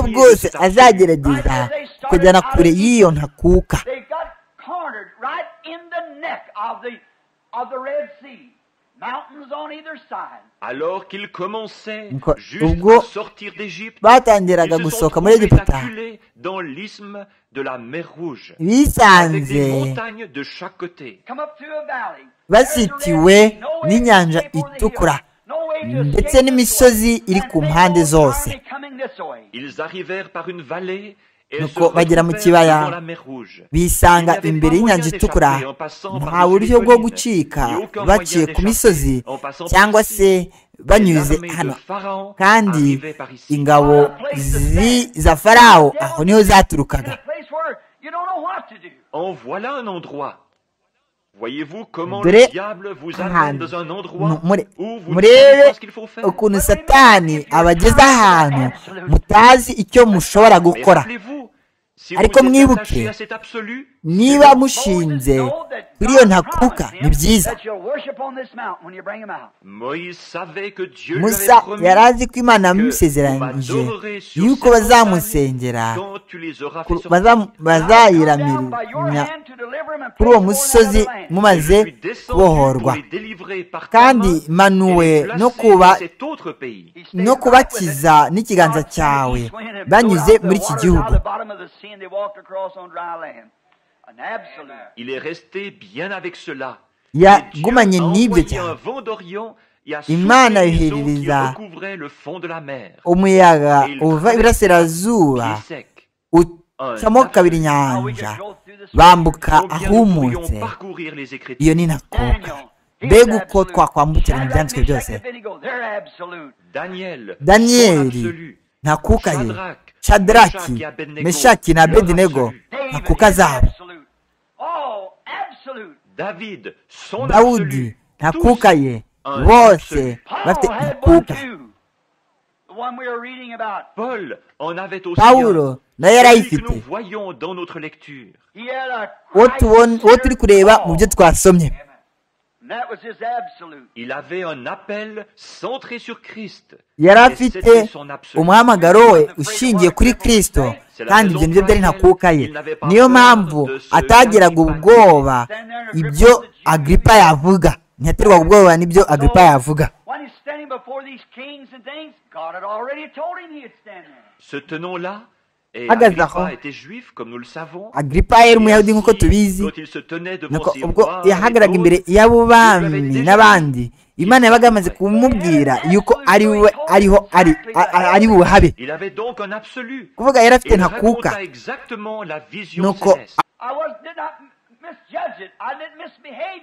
Il a dit, je ne suis pas un, je ne l'ai pas déshonoré, yaravuze ati je ne l'ai pas sous-estimé, je ne me suis sinabisuzuguye pas mal conduit. But he Si held nabasuzuguye, true. It was not si disobedient. He nitwaye kept that nabi. to the minute. For it was an absolute. Mais il y est resté fidèle. Ariko il n'y a pas désobéi. yagumye ashikamye ntiyasuzuguye yagumye aho ngaho kuko byari ntakuka life, that's your absolute. Et toute vie centrée sur Christ, kandi c'est buri votre buzima absolu. bwose bushingiye kuri kristo Since aba ari we meeting face to ntakuka face on the yabwo road to Damascus, that was meant so much to Paul. Eh bien, depuis qu'il l'avait rencontré face à face sur le chemin de Damas, cela gardait une kuva ubwo yabonanye na yo imbona nkubone mu nzira y'i damasiko ibyo byagumye bifite agaciro gakomeye kuri pawulo. noneho nimwibuke yuko mbere yari umuntu wize yari umugabo ukomeye mu byanditswe.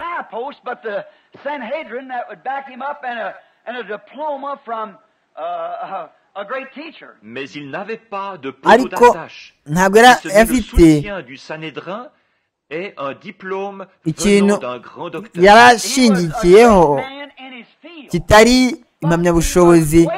Il était éminent dans sa branche. Il a théologie à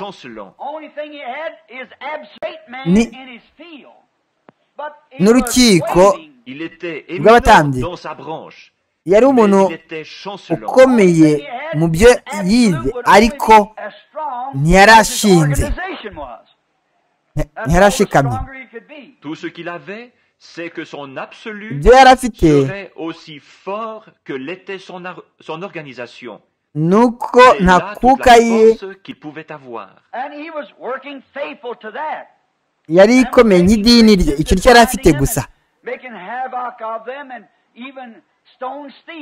Et dans son travail, il était Mori umurimo we rwose ibyo yarabyubahaga yafataga abakristo akababoha akabasenya. ndetse yateye amabuye sitefano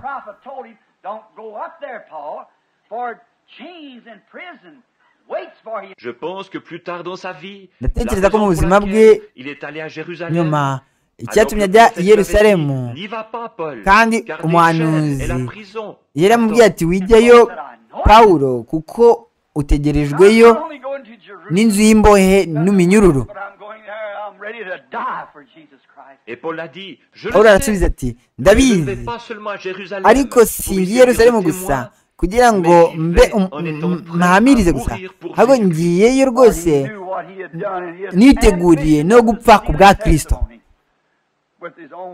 Car il savait ce qu'il avait fait. kuko yari azi Son ibyo yakoze. ambition, c'était de sceller son témoignage nawe avec son icyo propre sang. yifuzaga ni uko yahamirisha ubuhamya Mourir amaraso ye plutôt que bwite. martyr, agapfa parce qu'il avait nk'uhowe tué imana. un des martyrs kuko de yari ya- yishe umwe ahorwa Et imana. maintenant, le voici en route pour Damas. nuko dore avec ari mu toute son rugendo ajya i damasiko n'ubwenge bwe bwose ibyo yize byose.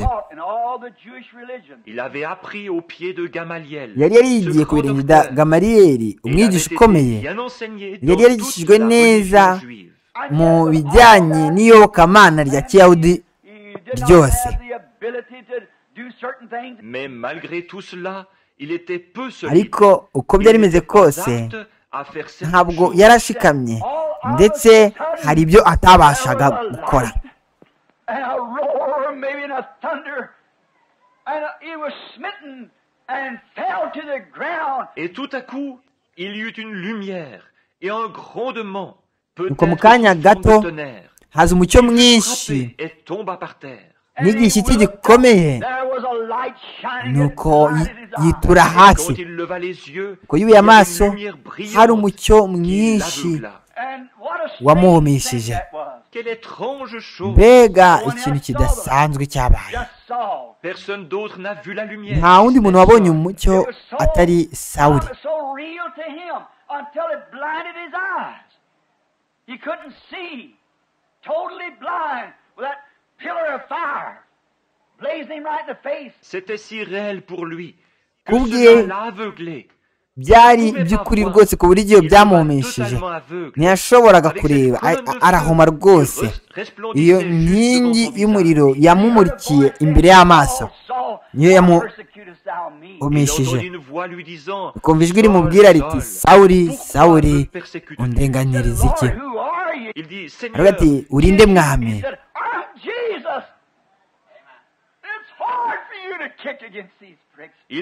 Aramusubiza ati, ndi yesu birakugoye gutera imigeri umuhunda ngaho haguruka ujye i damasi aho hari uwo nzakoherereza t'es relevé de là, ko ahagurutse aho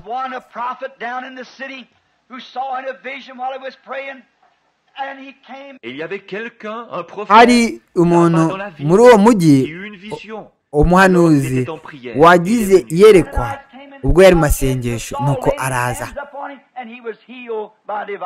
Ananias vint trouver Saul. ananiyasi aragenda asanga guéri amuramikaho ibiganza arakira akijwe n'imana.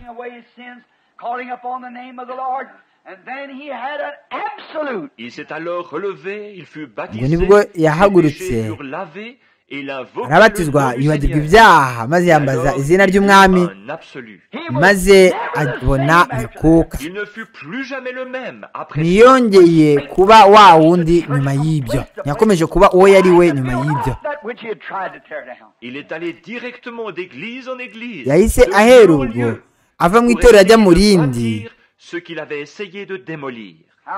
ava hamwe ajya ahandi agerageza kubaka ibyo yari yagerageje gusenya. nation, combien le monde chrétien ce matin a besoin Les de gars, ce type d'absolu? ni bangahe mu gihugu hose? Ni bangahe hano? Bakeneye ubwo bwoko bwa ntakuka. Ceux de mu buryo bwa nemera n'imigenzo n'inshyo z'abantu bagerageje guhakanya ijambo ry'imana. Batemera ko uko ryahoze ejo ariko ari none riri none n'iteka ryose.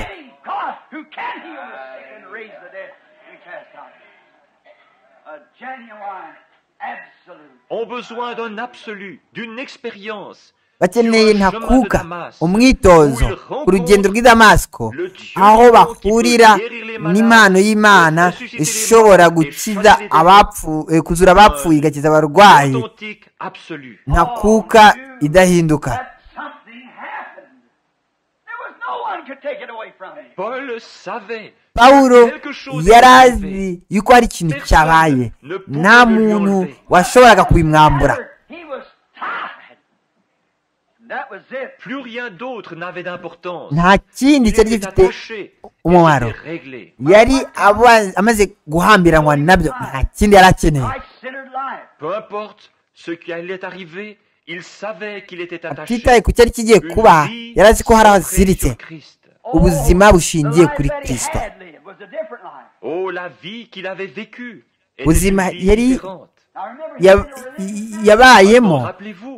ibyo byari ibindi binyuranye. nimwibuke yari umuntu w'umunyedini.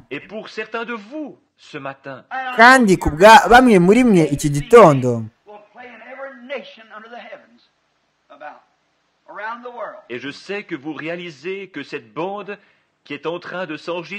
nzi yuko muri kubona ko iyi kasete iri gufatwa izacurangwa cyangwa izumvwa n'amoko yose ku isi. Hose rwose, ku isi. kandi bamwe muri mwe de vous bari hano ndetse na bamwe aho iyi kasete zizasubizwamo no mu yandi mahanga bayumva umusobanuzi asobanura. ahantu muri afurika mu baturage bo hakurya muri afurika n'ahantu hose. Namwe batware b'amadini, mwakiriye inyigisho ya bibiliya.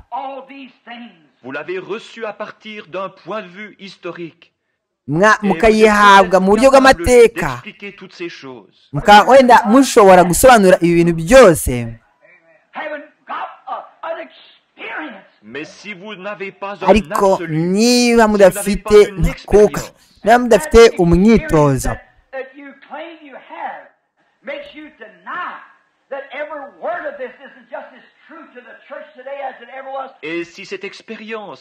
niba uyu mwitozo mutekereza ko mwaba mwarabonye mushobora guhakana ijambo na rimwe mo hano. Mukabutemera kuko byahoze ariko biri na n'ubu. Niba mwiringiye pouvez yanyu mu ndimi cyangwa ikindi mushobora kuba mufite.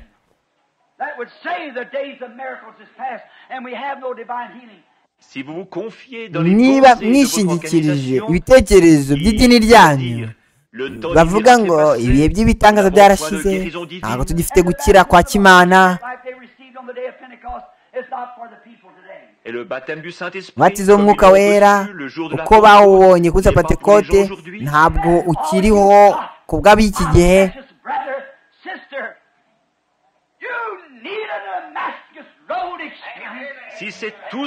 niba mon ibyo précieux ari cyo frère, ufite gusa mwene vous data avez mukundwa besoin mushiki d'une wanjye expérience ukeneye sur le chemin de umwitozo. Damas. wo mu yo ku nzira y'i damasiko Were you not only just a mythical thought in your mind, Vous avez besoin de rencontrer ce Dieu vivant où vous mukeneye guhura n'imana ishobora byose. Not some atari ibitekerezo bwite bitagaragara byo talk and mufite mu mutima experience of a real, genuine pas un frisson ou une sorte de sensation,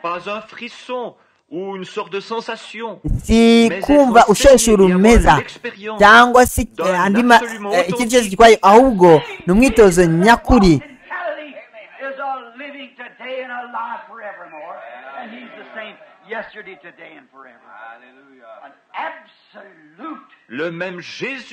Yesu wa wundi wagendaga i galilaya.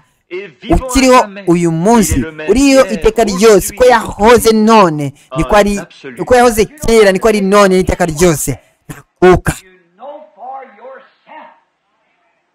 Not some sensation. qui fait que vous n'avez pas besoin de prendre ce que Niwe utuma quelqu'un d'autre a dit. mudakenera Vous le savez vous-même. gufata icyo undi yavuze ubwanyu mubizi ntabwo ari amarangamutima runaka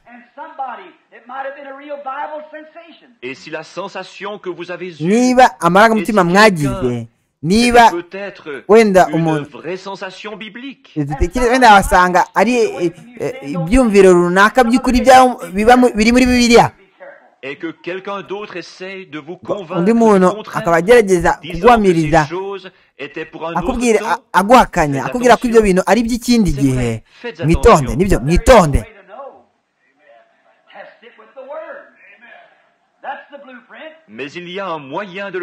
ariko hari uburyo bwo kubimenya mubipimishe ijambo niyo ni cyo gishushanyo ngenderwaho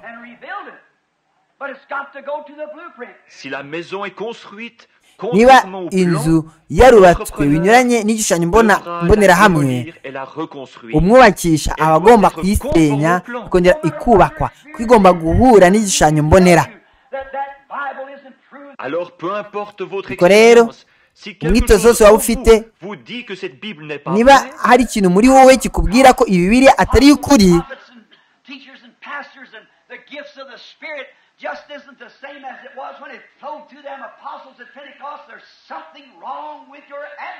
que cette puissance de Dieu Ngo izi mbaraga z'Imana, abashumba bungeri abavugabutumwa izo mana niba bitari bimwe igihe byatembaga mu ntumwa ku munsi wa pentekote haba hari ikintu kitagenda mu mwitozo wawe. Ugomba kuba ushinze kuri nemera y'idini aho kugira ushinge ku ijambo ry'imana. Kuko yaravuze ngo ijuru n'isi bizashira. Ariko ijambo ryanjye ntirizashira na hato murebe neza absolu. ntakuka yawe ya icyo ari cyo uzi neza ko ufitanye ubusabane n'umushumba wawe. Ushobora kuba rwose uhamirijwe neza cyane ko ufitanye ubusabane n'umugenzuzi mukuru w'intara. W'akarere. que ariko rwose ni byo rwose l'évêque ou n'umwepiskopi cyangwa se undi muntu ukomeye wo mu itorero ryanyu Christ, for upon this rock I'll put my absolute. And the gates of hell shall not prevail against it. Mais si vous n'êtes pas, ariko niba ntakuka Jésus-Christ, yanyu atari yesu kirisito car sur cette pierre je kuko ngo kuri rutare ni ho nzashinga ntakuka point yanjye kandi amarembo y'ikuzimu ntabwo azarishobora. Guhishurirwa ku buryo bw'umwuka bwo kumenya uwo ari we.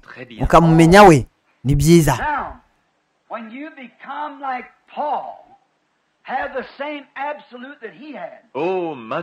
Nonero ndiye mumeze nka pawulo mukaba mufite ntakuka nkiye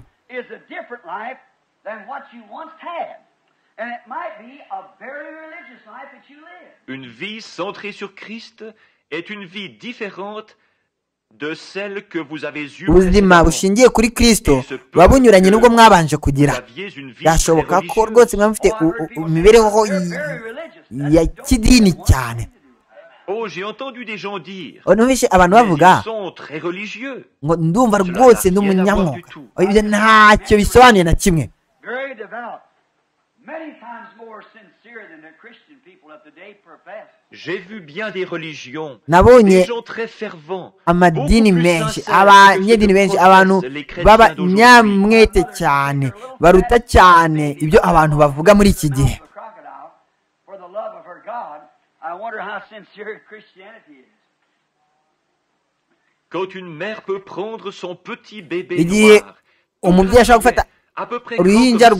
ruto rungana gutya akarujugunya mu kanwa k'ingona kubw'urukundo akunda imana ye nibaza ukuntu abantu bakomeje bamaramaje mu gikristo. igihe umuntu yemeye kwibaza bingana gutyo agashinga inshinge nyinshi mu mubiri we nk'uko. nuko bakashyiraho amazi ibintu ibipfunyika by'amazi bigatuma aguma hasi ku butaka gutya nk'uko. Maze akagenda mu muriro akava nkanga akagera aho iki cyumba kirangiye akahanyura kenshi. kandi hashyushye cyane gutyo bikaba ari ikimenyetso cy'igitambo atambiye imana ye.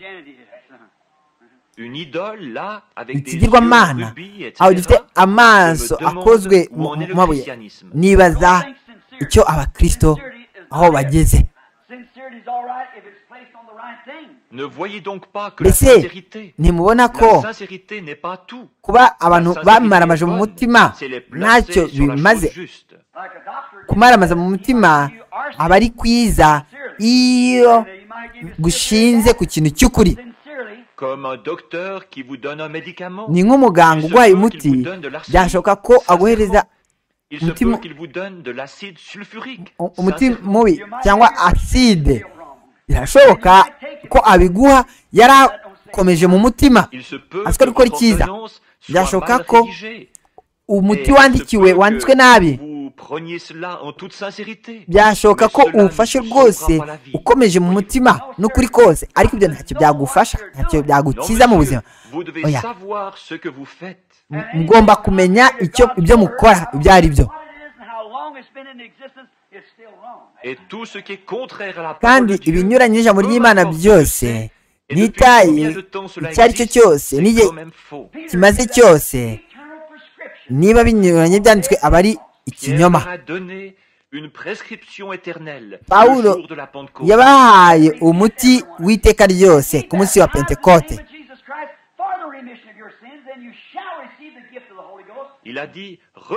yavuze ati nimwihane. buri mwese muri mwe abatizwe mu izina rya Yesu kirisito kugira ngo babarirwe ibyaha byanyu maze muzahabwa impano y'umwuka wera.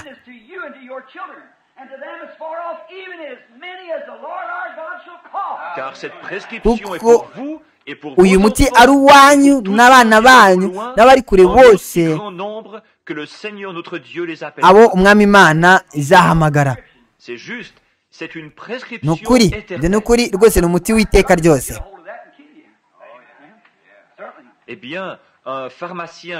Nibyo umukozi wa farumasi utari umwuga ibyo yabifata akabikoresha akabibicisha murabizi haba hari mu muti. haba harimo uburozi runaka bwica udukoko. kandi umuganga ni we uba uzi gusa igipimo cy'ibya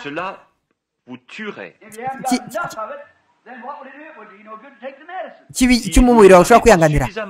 uhawe bike byabika eh, uhawe mwinshi byabika uhawe muke ntacyo byabamarira kunywa umuti. aba azi icyo umubiri wawe ushobora kwihanganira. Kandi uko ni nako umuti imana yatwandikiye ni kuri. Nawo ni kumeze. Icyo umuntu avuga ko gishobora kigomba gukorwa gutya cyangwa kuriya ntimukabyizere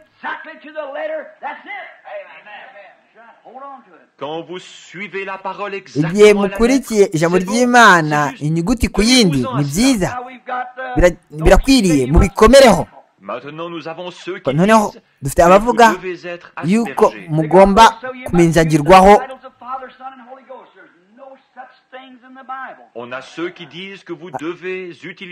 aravuga yuko mugomba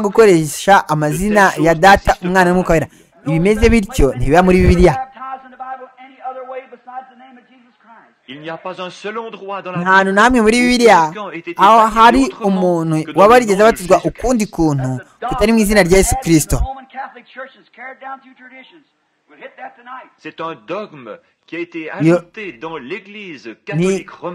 ni inyigisho yongerewe muri kiliziya gatolika hanyuma ikomezwa n'imigenzo. y'abantu ku mugoroba. ariko nimurebe muri ibyo byose umuti wanditswe uguma ari avons dore impamvu abana benshi barwaye. ni docteur ko batumva ibyo umuganga yavuze Cela, igihe Elle aba ari byiza ni ijambo ry'imana ntabwo rishobora kuneshwa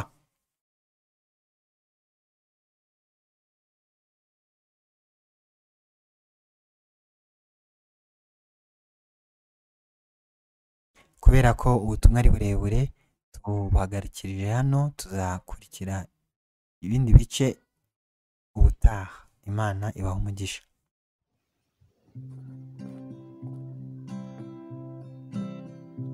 Mfite umukiza mwiza cyane kuko yazanywe no kunkiza yatanze ubugingo bwe bwose bapfira bari mu isi bose yabambiwe ku musaraba yabambiwe ku